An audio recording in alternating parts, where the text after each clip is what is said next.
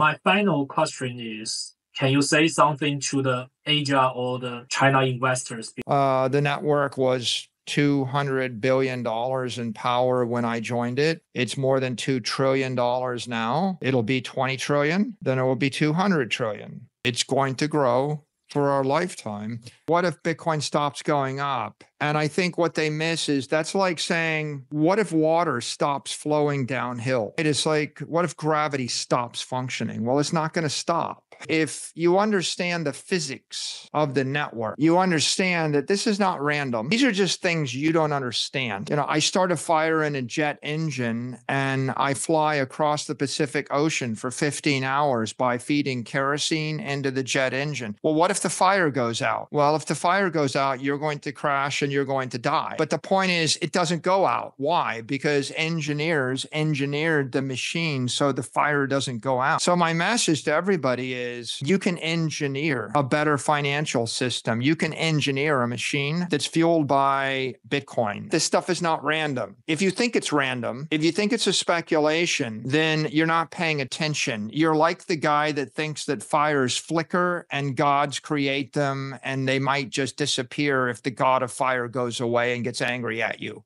then you'll understand what's going on. There's a digital energy network. It is formed for the first time in human history. You can plug your machines into a digital energy network. That's the path to prosperity, or you can run from it, or you can just complain about it. If you want to change the future of 10 billion people, you need to be an engineer. You can't just complain about electricity shocking you and fire burning you and, and run from, you know, the superstitious thunderbolts of the gods.